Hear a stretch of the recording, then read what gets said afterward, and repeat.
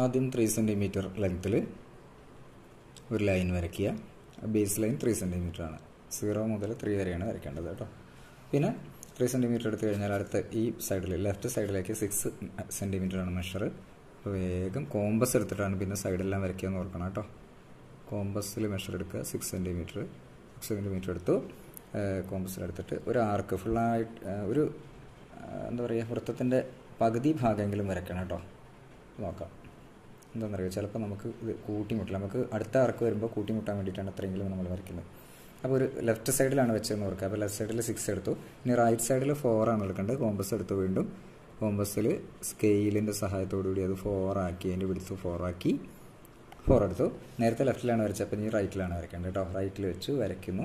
റൈറ്റിൽ വയ്ക്കുമ്പോൾ നമുക്ക് ഫുള്ള് ഇങ്ങനെ വരയ്ക്കണമെന്നില്ല. കാരണം നമുക്കിത് കൂട്ടിമുട്ടിയാൽ മതി. അപ്പോൾ അതിനെ കണക്കാക്കി ഇവിടെ വരച്ചാൽ മതി. ഓക്കെ ഇവിടെ കൂട്ടിമുട്ടിയൊക്കെ കണ്ടോ മീറ്റ് ചെയ്തു അല്ലേ? ആ മീറ്റ് ചെയ്ത സൈഡിലേക്ക് നമ്മൾ എന്ത് ചെയ്യുക?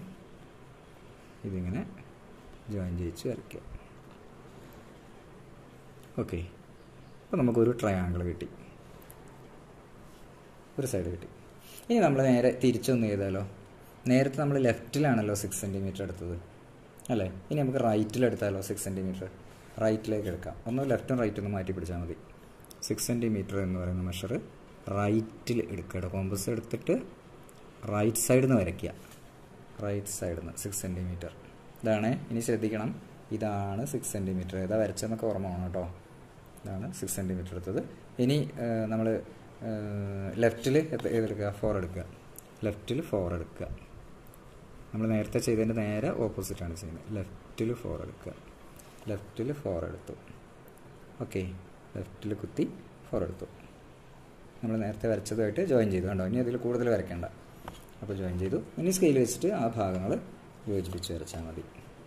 എങ്ങോട്ട് യോജിപ്പിക്കണം?